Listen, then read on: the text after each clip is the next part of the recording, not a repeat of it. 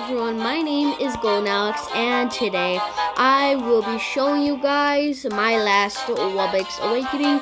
Uh, maybe there will be added new Wubboxes, maybe like on Firehaven and other stuff, but this is the last Wubbox, well, last available Wubbox in order, so obviously I have them on plant, cold, air, water, and now I'm gonna get them on Earth. So the last monster was the Mammott, and what I'm gonna do is three, two, one, box it. And it doesn't do it automatically. You have to hit power up, and then it already gave me some money. That's nice. There he is. Oh my god. He's about as small as my humbug. That sounds sick, dude. Sorry if there's any background noise. I'm really sorry about that, guys.